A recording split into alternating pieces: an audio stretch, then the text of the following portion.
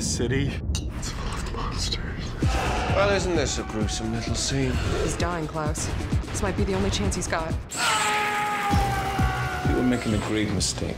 Which is humans, vampires, wolves. Something big's brewing. Tell me, Marcel, did you kill my parents? I think you need to prepare yourself. This story does not end well.